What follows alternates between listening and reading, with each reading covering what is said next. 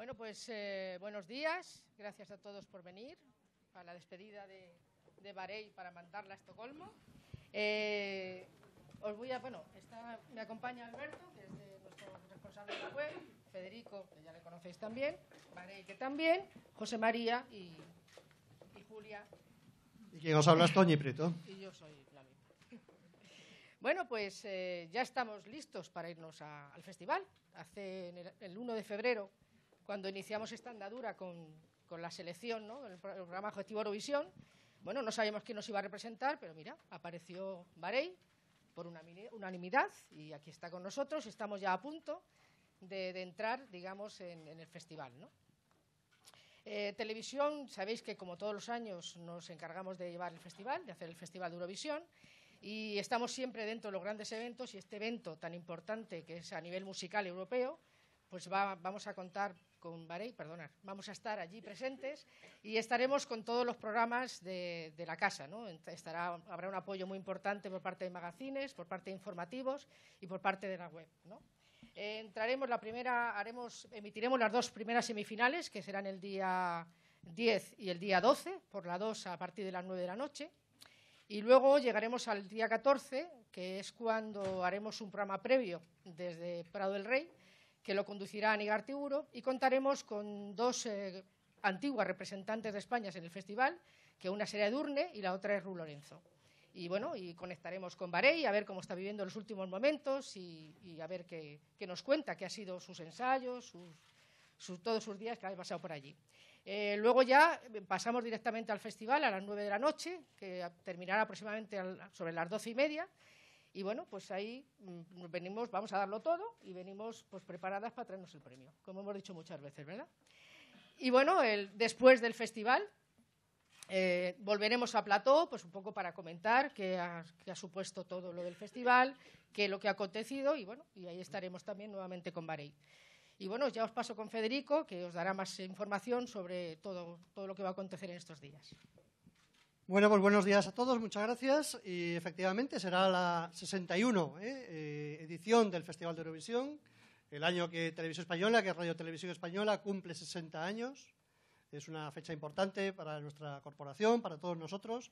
Estamos hablando de eh, la historia de la televisión, tanto por el Festival de Eurovisión, uno de los programas más grandes del mundo, además musical, además cultural, y que nos une a todos los europeos durante una noche, eh, una vez al año por lo menos.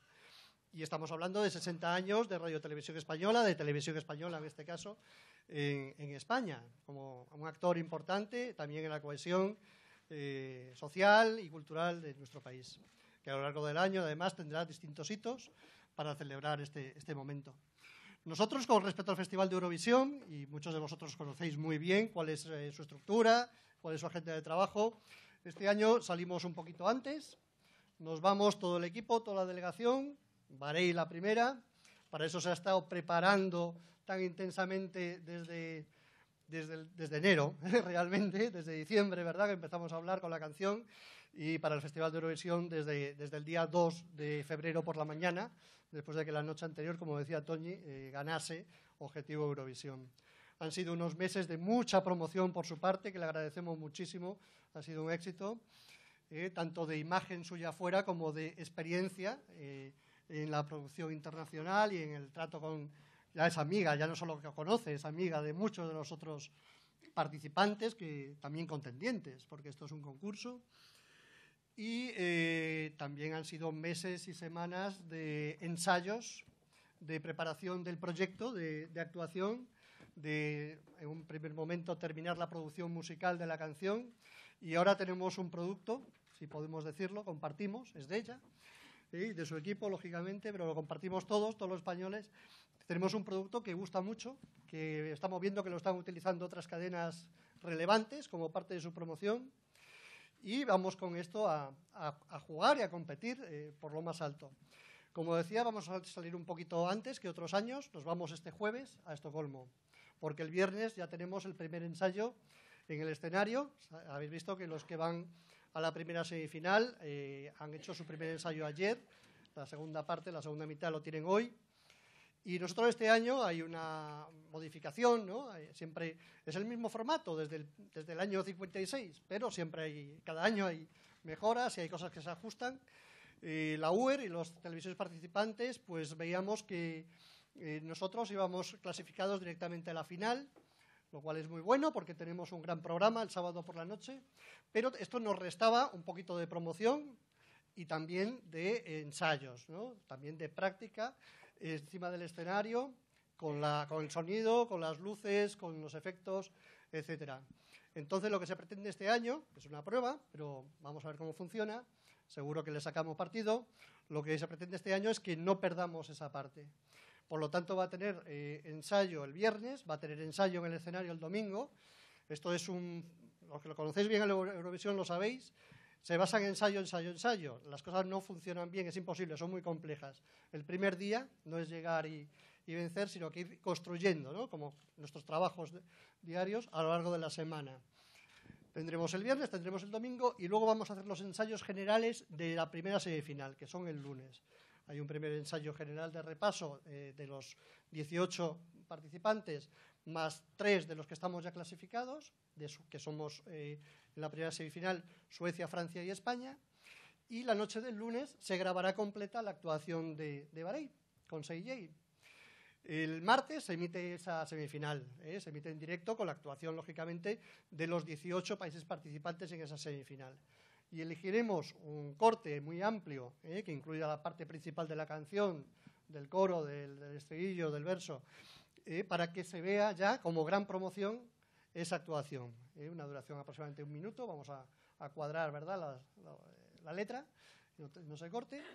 Y esa es la primera novedad.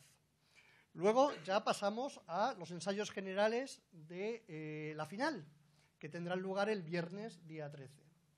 Y de ahí, eh, pues como todos sabemos, nos la jugamos, la final de, nuestra particular Champions, nos la jugamos el sábado 14 por la noche eh, a las 21 horas. El Festival de Eurovisión, todos los programas empiezan a las 21.0000. El sábado por la noche, como hemos anticipado, ¿verdad, Toñi? en la 1, en Televisión Española, además producción ya desde hace unos años eh, total HD, es uno de los programas donde más se disfruta el HD por su propia producción y el sonido también, por el canal internacional, por la web rtv.es, por Radio Nacional, la cobertura será total y por supuesto en las redes sociales también de la Corporación Radio Televisión Española. No quiero mm, saltarme eh, que hay otra, como, los seguidores eh, diarios del festival, hay otra eh, novedad importante este año, en un proceso también de ajuste, que no, probablemente no haya, no, terminado aquí, pero bueno, estamos en ese camino, y es que este año los votos, las votaciones de los jurados y del televoto, los jurados se reúnen en circuito cerrado las vísperas de noche, ven la misma producción con todo el empeño, ¿verdad?, y todo el talento de los artistas. Y, por supuesto el televoto es, es, en tiempo real durante al final de la emisión, una ventana además ampliada este año. Además vamos a dar más facilidades, eh, se ha hecho una rebaja eh, que hemos conseguido por parte de los operadores y también hay la aplicación, ¿eh? la aplicación que está, estará en español, muy importante, sobre todo para la gente más joven, que ya todo lo ve a través de las iPads, de los móviles, etcétera. En esa aplicación en español eh, está a vuestra disposición la información de cada uno de los participantes, mm, la biografía, la letra, etcétera, las fotos, imágenes y del show también, ¿no? de los presentadores suecos, de todo lo que hay alrededor. A lo largo de la semana, Bahrein no solamente va a hacer esos ensayos, ¿eh? Eh, va con... No, ya sabe que ojalá no, porque también va, a estar presente, va a estar haciendo muchas cosas, eh, va a encontrarse con, muchos de los otros artistas con los que va a participar, va a haber muchas sorpresas, va también para Radio Televisión Española, pero también para otras cadenas, va a tener muchos rodajes y muchas eh, grabaciones. Por supuesto, sabéis que hay una cadena de fiestas, ¿no? que son actos sociales, empezando por la ceremonia de inauguración, precedida por su alfombra roja maravillosa, eh, la ceremonia de inauguración que tendrá lugar el domingo, día 8, eh, por la noche, en el Ayuntamiento de Estocolmo, en la Sala Dorada, donde se entregan los premios Nobel eh, año a año. y luego tendremos eh, actuaciones de Bahrein más desenfadadas y más directas para contactar y conectar eh, y divertir y, hacerse amiga, eh, como ya lo somos, como ya lo es ella, de los fans y de toda la gente, tanto en el Euroclub como en el Eurovision Village, delante de toda la gente de Estocolmo, allí en el centro. La previsión del tiempo en estos momentos parece que es muy positiva. Entonces vamos a ver si se mantiene. Y eh, bueno, pues eh, os estaba antes refiriendo, ¿verdad?, a el papel de, digital, ¿no? del Departamento de Digitales, del papel interactivo de Radio Televisión Española, eh, tanto a través de, la web, rtv.es, barra Eurovisión, como de todos, todas las redes sociales, en Twitter, en Facebook, etcétera, etcétera. es un departamento muy fuerte en nuestra casa, que tiene mucha difusión en España que el Festival de Eurovisión es uno de los proyectos más importantes a lo largo del año, dada la atención del público, ¿verdad? Que desde luego tiene muchos otros proyectos. Barei hoy mismo va a hacer una grabación para uno de ellos, Generation What, ¿eh? un proyecto que acaba de empezar y se extenderá hasta octubre. Fue un gran éxito en Francia hace tres años y ahora estamos 15 televisiones europeas comparando cómo son de verdad, ¿eh? clichés y tópicos aparte, cómo son de verdad las juventudes ¿eh? de 17 a 34 años en, Europa. va a ser toda una sorpresa. Pero Alberto Fernández nos va a contar qué es lo que ellos están preparando con referencia al Festival de Eurovisión. Muchas gracias, Alberto. Gracias, Federico. Eh, bueno, este año vamos a profundizar en lo que ya hicimos el año pasado. Eh, como bien contaba Federico, toda la semana de previa Eurovisión hay una serie de actos que, tiene Barey y que afectan a toda la comunidad eurovisiva que nosotros ya el año pasado empezamos a dar en directo, muchos de ellos. Ahora vamos a dar esos actos y algunos más. Estaremos como novedad este año en los directos también haciendo retransmisiones desde el backstage antes de, las dos semifinales y también de la, de la gran final para ver un poco cómo el ambiente previo que hay en, en las diferentes galas de esa semana. Estaremos en Euroclub, estaremos en Eurovillas, estaremos en todas las ruedas de prensa de Bahrein y obviamente la idea es que esa semana es la semana grande de, la web de RTV porque es la, más potente en cuanto a visitas, en cuanto a tráfico, en cuanto a seguimiento. Y además es una semana que para, para todos los eurofans es especial, no solamente es el, es el sábado, sino como bien dice Federico, es toda una semana que además este año se amplía gracias a, esa actuación que tiene Barey en, la primera semifinal. Pues bien, todos esos streamings, esos directos estarán en nuestra web. Ya habéis visto eh, esta semana pasada que tuvimos el, acto en la Embajada y la Europarty y bueno, tuvo, un gran seguimiento y, una gran acogida en redes sociales. Sobre el tema de redes sociales también sabréis que es el evento del año en, movimiento de, tweets y de, y de actividad en redes sociales. Este año vamos a, seguir con, la actividad que teníamos en, Periscope, que, la verdad es que fuimos pioneros el año pasado con, nuestros pericaris, por así decirlo, Irene, Irene y César Vallejo. Y, este año lo vamos, a, ampliar a otra herramienta de streaming en directo muy potente, que es la de Facebook, Facebook Live, que realmente creemos que tiene incluso más potencial que Periscope para, para que la gente digamos, pueda interactuar en directo con, con lo que está pasando en Eurovisión. ¿no? Y además de eso, como novedad, no solamente va a ser un. En redes sociales no solamente va a ser el seguimiento del vídeo en directo, sino también vamos a tener análisis por primera vez. Eh, vamos a colaborar con un equipo de la Universidad de Zaragoza que analiza eh, en tiempo real, digamos, toda la interacción social eh, vinculada a un tema. En este caso, lo han hecho, de hecho, con la campaña electoral pasada y no sé si la, con, la, con la que viene. estaremos siguiendo todo lo que tiene que ver con, con la campaña, entre comillas, en redes sociales de, de y de su equipo, que por cierto es muy buena, está muy bien posicionada en redes sociales, ya lo hemos ido contando en nuestros videoencuentros eh, previos, y también del resto de candidatos de, Europa. ¿no? Haremos un, tracking, digamos, de las comunidades y de los candidatos y de los sentimientos de positividad y negatividad que, generan estos candidatos. Y por último, también como novedad, eh, vamos incluso a, a, analizar en profundidad el fenómeno Eurovisión aprovechando que es en Suecia, que es el país rey de Eurovisión. Eh, durante la semana de Eurovisión, la semana que viene, eh, sacaremos un microdocumental que hemos grabado hace unas semanas con gente de la industria de musical y también que tiene que ver con, Internet, con Spotify, con SoundCloud de, Suecia, de tal manera que em, para ver exactamente cuál es, entre comillas, el secreto del éxito de, todo el, entramado de Eurovisión en Suecia, desde el Melody Festival a, los productores, etcétera. Eh, y bueno, eh, será otra gran novedad este año. Y, bueno, creo que ya he soltado el rollo. Bueno, deciros también que el portavoz que va a dar los votos desde aquí, desde España, es J. Abril, que ya lo tenéis también en la nota de prensa.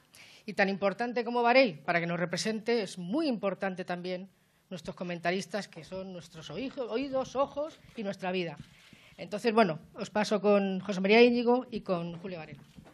Bueno, ¿qué tal? Repetimos. Tanden, José María. ¿Estás contento? Estoy encantadísimo. ¿Cómo voy a estar encantadísimo? Estoy feliz de estar contigo porque tu entusiasmo contagia.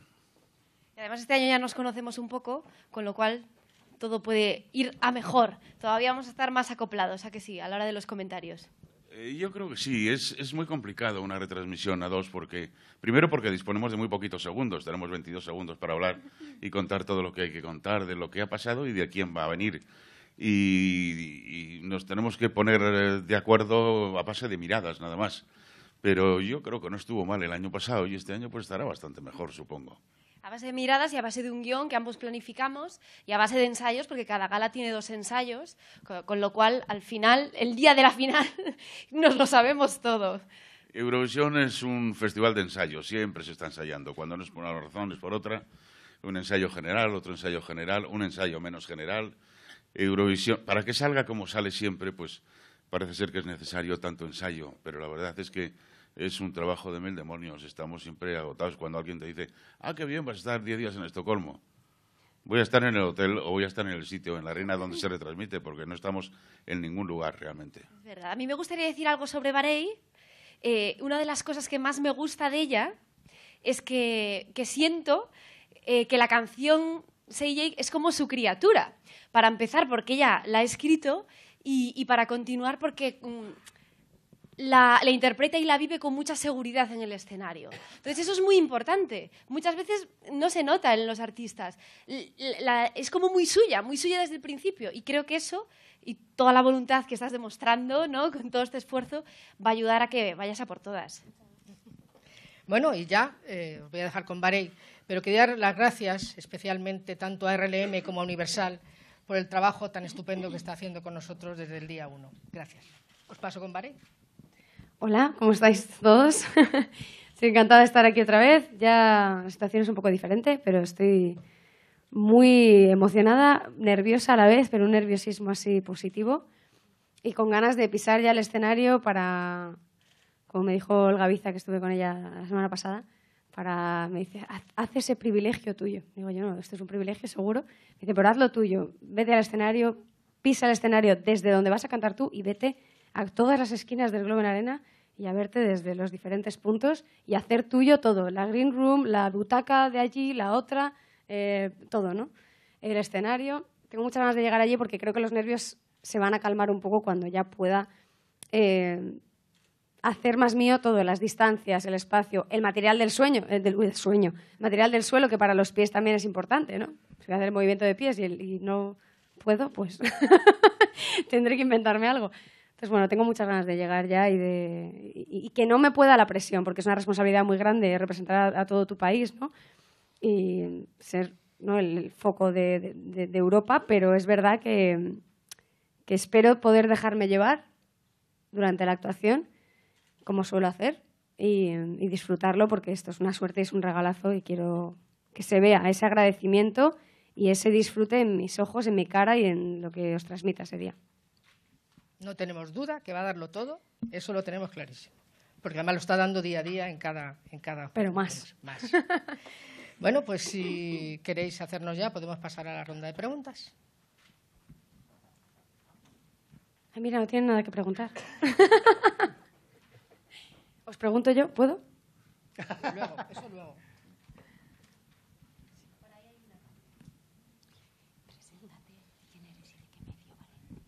Hola, Varey. Javier Herrero para la agencia EFE. ¿Cómo estás? Muy bien, ¿y tú? Muy bien, encantado de hablar otra vez contigo. Eh, después de ver todos los candidatos, ¿con, ¿con qué posibilidades te ves de victoria? ¿Posibilidades reales? No tengo ni idea. Pero además no tengo ni idea de verdad. Es que no. Hay gente que me dice, fíjate en las apuestas. Digo, no me creo nada de las apuestas, ni para bien ni para mal. ¿eh? No quiero ni que me den hype, como decís vosotros, ni todo lo contrario, que me supongan un agobio o una opresión o, o si de repente bajo cuatro puestos, eh, me, venga abajo. No, no quiero. Creo que lo único determinante son esos tres minutos. Y siempre lo he dicho, parece un tópico, pero lo digo de verdad, si yo quedo al final en, un puesto considerablemente bueno, arriba ¿no? de la lista, pero yo veo después la, la, actuación, o vosotros, y no os dice nada, y os resulta fría y no se emociona, porque depende de la canción, pero es que esta canción es para emocionar por fuera y por dentro, y para mover por, por ambas partes. Entonces, si yo siento que no he transmitido eso, y ese mensaje de superación y de la voluntad lo es todo, y de motivación, y, y si no he llegado a alguien en Europa que esté con ganas de tirar la toalla y que le haya hecho pensar, voy a seguir, eh, yendo a por lo que quiero conseguir o esa persona que quería ser y que creo que todavía puedo ser. Si eso no lo consigo, me da igual el puesto, haber quedado primera, segunda, tercera, quinta, me da lo mismo. Ahora, viceversa. Lo mismo, ¿no? Al revés. Si quedo en un puesto veintitantos, pero yo cuando vea la actuación veo que está bien transmitido el mensaje y que hay emoción en él y que está bien hecho, me sentiré ganadora también. Porque creo que al final uno tiene que ganar. Esto es como, en Objetivo Eurovisión también lo decíamos, ¿no? uno tiene que ganar y el resto, pues no le queda otra, otra que perder, ¿no? Esto es así, hay que elegir a uno. Y, y, hay rivales muy fuertes y muy buenos, y hay canciones buenísimas este año. Y no solo canciones, sino también intérpretes muy buenos con muchísimo carisma. Pongo el ejemplo de Francia, pero porque para mí Francia es mi favorito, porque creo que precisamente no es el que más voz tiene. Sí es para mí de las mejores canciones, pero se suma que tiene más carisma que, que muchos. Entonces creo que también cada año, muchas veces, ¿no? Cuando decís lo de no, es que España siempre queda, no es verdad. Ha habido veces que ha quedado el top 10, ha habido veces que ha quedado mucho más abajo, ha habido veces que ha quedado mucho más arriba. Y creo que, que influye mucho más eh, el resto de competidores, el cómo te sientas ese día, eh, hasta lo que hayas comido. Es que todo influye en esos tres minutos, porque al final el instrumento eres tú, es tu cuerpo, es tu voz, y no es lo mismo que tocar la guitarra o el piano, ¿no? Entonces, para mí, ¿Cómo me veo? No tengo ni idea, porque todo esto influye en esos tres minutos. Entonces, que pase lo que tenga que pasar. Yo, desde luego, actitud, ganas y responsabilidad la llevo conmigo. A ti.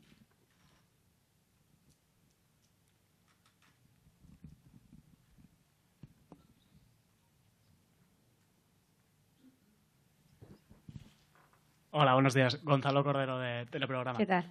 ¿Qué tal? Eh, quería preguntarte, no sé si has visto la noticia de que este año se va a emitir Eurovisión en Estados Unidos y que incluso se está promocionando allí con tu, con tu canción. No sé cómo valoras ¿En Estados Unidos también? Sí, en la, publicidad de allí se promociona con, con tu canción. ¿También? Está en Inglaterra. Pues me he colado. Ah, vale, digo yo, pues digo yo, qué bien, dímelo, no sabía. Bueno, en cualquier caso, ¿cómo valoras esa posible proyección internacional que te pueda dar este tipo de cosas? Se va, se va a retransmitir en Estados Unidos, eso sí lo vi ayer en, en un tuit, y pues encantada, yo y todos los participantes, porque al final, pues lo, que digo siempre, traspasar fronteras con la música es maravilloso, es una oportunidad muy grande. A cuantos más llegue, mejor. Pero, y lo de la BBC de Inglaterra, no de Estados Unidos, pero sí de Inglaterra, eh, me ha dejado pues como el emoticono ese de así. ¿Sabes? Igual, con los ojos súper abiertos, diciendo, pero bueno, ¿y esto? Pero es, es, es, una suerte que alguien, sobre todo porque además me sorprende porque, claro, ellos tienen su propio candidato. Entonces lo, lo, miro al revés, ¿no? Y pienso que aquí pusierais en televisión española, tal. Yo montaba un pollo, yo te digo. O sea, yo llamo a televisión española y digo, ¿cómo? Pero bueno, pero... A ver si lo van a quitar. no, por favor. Bueno, si ponéis la de Francia, todavía os doy ahí un pase. Pero... Que no les demos ideas. ¿Será, que les gusta, no? ¿Será porque les gusta la canción? Sí, supongo. O sea, que es muy buena noticia. Y además se emite en Estados Unidos, es verdad, por una cadena nacional eh, de costa a costa en Estados Unidos este año, muy potente. Eh, pero se está emitiendo para todo el mundo. En Asia, eh, desde hace años, este año en China también. Ah, también. Australia es participante, este año no va clasificado directamente a la final, tiene que pasar por la, por la Fede, a la australiana le voy a mandar un beso porque sé que soy su favorita. Entonces le mando y es muy buena, ella también. Por eso la final va a ser un programa muy potente, cada una de las semifinales, pero la final va a ser... Es que hay muy buenas canciones y muy buenos intérpretes, es así. Y puestas en escena algunas, mira Rusia, ¿no? También. O sea que también hay cosas visuales muy, muy, muy potentes. Y luego está, como mencionábamos antes, el canal internacional de, televisión española. Eh, buenos años que toda la población anglosajona que estaba en Asia, en Tailandia, etcétera, lo veía a través de nuestro canal. Ahora eh, lo va a ver todo el mundo. lo va a ver mucha gente.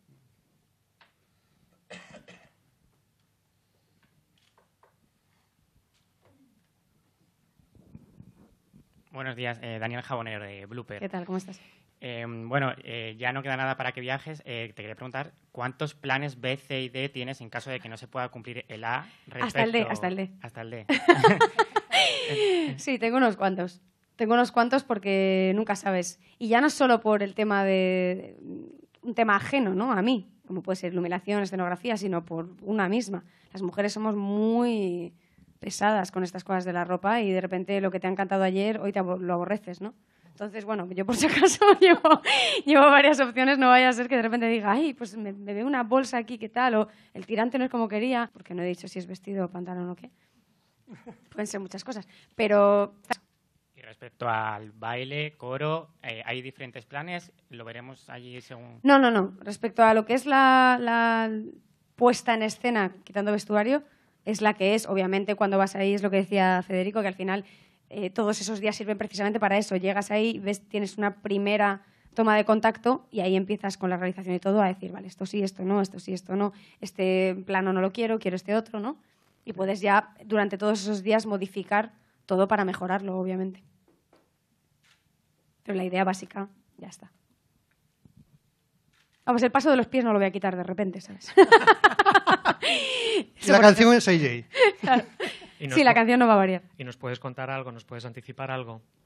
Yo lo he dicho que es, es muy minimalista porque creo que es una canción que tiene muchísima dinámica ya en sí, eh, por la melodía que tiene, por los cambios que tiene también de saltos de octava, eh, por los matices de la voz, que también tienen momentos muy dulces, momentos muy rajados en la voz. Entonces creo que sobreinformar en este caso, en esta canción, en otras canciones no, pero en esta, eh, creo que sería contraproducente. Entonces es mucho más minimal que otra cosa y potencia las emociones de la canción, ese momento íntimo del principio y la celebración de cuando ya te has superado a ti mismo y has sido capaz de sobreponerte a lo que sea, cualquier eh, problema o fracaso, o que uno considere fracaso.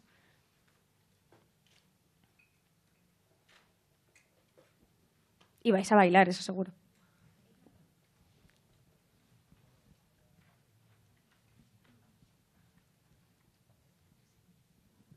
Buenas, eh. JM Ávila, de información.com.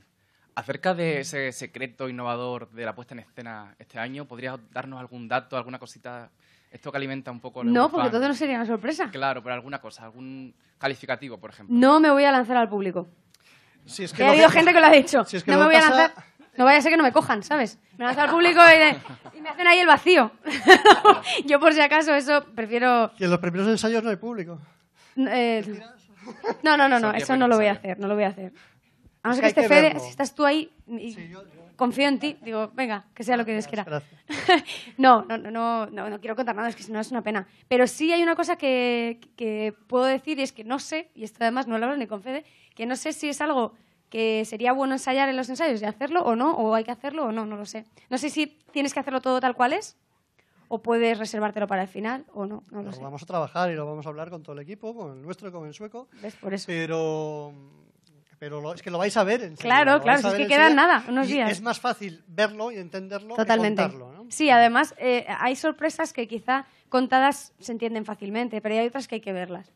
Y nunca he dicho que sea algo mejor o peor que otras que se han hecho, ni que sea algo... Va a haber gente que le encante y gente que probablemente lo aborrezca. O sea, quiero decir que esto es así, ¿no? Es- es- esto es creatividad, es arte, es música, es mm, subjetivo. Entonces, a mí me encanta y a nosotros nos encanta, y si no, no, no hubiéramos decidido hacerlo. Pero para gustos los colores. Gracias. Hola, Barey. Hola, ¿cuánto So- tiempo? Sí, mucho. Soy José García de... Perdón, me, me encantó. ¿Fuiste tú el vídeo de ayer? Eh, sí. Tu vídeo de ayer espectacular. Corriendo. Soy, sí. Soy José García de EurovisionSpain.com. Eh, ayer empezaron los ensayos ya en, en Estocolmo. No sé si has tenido oportunidad de, de ver algo, de ver el escenario en movimiento. Comentabas antes de Rusia, eh, que fue uno de los ensayos más comentados ayer porque Mm. es uno de los grandes favoritos. Me gustaría saber tu opinión sobre si lo has visto. Y mm, cómo te ves tú sobre ese escenario, ¿no? Ya han empezado los ensayos, no sé si te estás visualizando ya sobre el escenario y si tu idea, tu escenografía casa a la perfección con cómo es el, escenario de Estocolmo. Hombre, mi escenografía es diferente a otras que habéis visto, obviamente. Cada uno intentamos llevárnoslo a nuestro terreno, ¿no? Porque además es una escenario así te da para tanto que puedes eh, utilizarlo todo, no utilizar nada, utilizar la mitad, eh, hacer una cosa como login en su momento, que era todo lo contrario. ¿no? Te- podía haber utilizado un montón de cosas y lo hizo mucho más minimalista. No sé, hay, hay muchas maneras de, de utilizar todo lo que se te pone en bandeja, ¿no? Pero en el caso de Rusia, a mí me parece espectacular. O sea, visualmente, obviamente, quien diga lo contrario es que no ve. O sea, verlo impacta muchísimo visualmente. Eh, y luego lo que te digo, creo que cada canción pide lo suyo. Eh, si Sergei lo ha querido hacer así es porque el mensaje de su canción y como lo quiere transmitir es su manera, es lo mismo, es, crea- es creatividad. Entonces cada uno lo interpreta como mejor piensa que va a ser, ¿no? Eh, a mí me impacta visualmente mucho, ¿cómo no me va a impactar? Hay mucha gente que luego, en cambio, no... Pues, por ejemplo, ¿no? Ves en, eh, cuando lo pusieron ayer, mucha gente que decía, pues a mí me gusta muchísimo visualmente, pero me deja más frío. Gente que dice, a mí me encanta todo. Gente que te dice, eh, no sé, demasiada información. Eh, gente que lo contrario, que dice, Dios mío, el resto van a estar a la altura de algo así tan potente visualmente. Lo de siempre, que es que al final, para gustos los colores. A mí me parece muy impactante. Y entiendo que sea uno de los favoritos, lo entiendo. Barey, dos de las personas que van a estar en ese previo de Eurovisión son ex participantes, Ruth Lorenzo y Edurne. ¿Has tenido oportunidad de hablar con ellas? ¿Te han dado algún consejo de cara a la participación? Y una segunda pregunta. Entre tanto ensayo que te van a llevar de un lado para otro, vas a tener poco tiempo para ti. ¿Te has reservado algunos minutitos previos a la gala? ¿Tienes algún ritual que hacer antes de plantarte delante del escenario? Pues mira, hablé con Edurne el día de Objetivo Eurovisión cuando coincidimos al salir de plató. Pero fue nada, dos minutos. Y me dijo simplemente, eh, disfrútalo, porque esto lo vas a vivir una vez en la vida, disfrútalo a tope. Es muy, muy fuerte lo que vas a vivir. Y me dijo, y, y también es difícil en muchos momentos. Es lo único que me dijo. Y con Ruth Lorenzo no he hablado, porque solo la, bueno, la conocí mucho antes de Objetivo Eurovisión, bueno, como dos meses antes, en un programa de televisión en el que yo presentaba el programa y ella venía de invitada y también presentaba una parte. Entonces fue, hola, adiós, doy una foto y nada más. A Ruth no, no he tenido el placer de estar más con ella. Y Edurne la vi esos minutos después de Objetivo Eurovisión.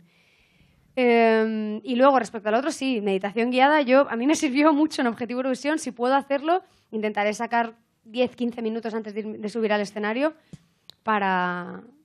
De hecho, el otro día lo hablé con las coristas y me decían que querían hacerlo juntas, que lo hiciéramos todas. Les dije que fenomenal, que nos quedamos 15 minutos en silencio, hacemos la meditación guiada juntas y, y así la energía es la misma, ¿no? Entonces lo haremos probablemente las 6. Ensayo de meditación trascendental cada día. Sí, no, es que ayuda mucho. Ah, visualización, me has dicho, me, has- me habías dicho que se me había... ¿Quién me lo ha dicho? No, pero antes me lo ha preguntado, que si me había visualizado en el escenario, me has dicho tú, ¿no? Que to- todo el tiempo, sin parar. Me duermo ahí, de hecho, porque ayer me meto en la cama o antes de ayer me meto y, ¿no? y a lo mejor ponen la tele y, y, y me quedo ahí así, y me dice, ¿qué haces, Rubén? ¿no? Y digo, visualizar. Y me dice, quito la tele y digo, no, tranquilo, que yo visualizo a mi bola. y yo me quedo ahí visualizando hasta que me duermo. Visualizando que todo sale bien, que, se transmite esa emoción, que, que se ve es, es- esa mirada chispeante de todas nosotras por vivir algo tan grande, que estáis todos orgullosos, que lo disfrutáis, que os divertís viendo la actuación. Lo visualizo todo, con pelos y señales, hasta el olor me lo imagino. Del... Bueno, que estando todos ahí bailando todo, no quiero... Pero sí, también lo visualizo, me lo imagino. Ya hemos- ah,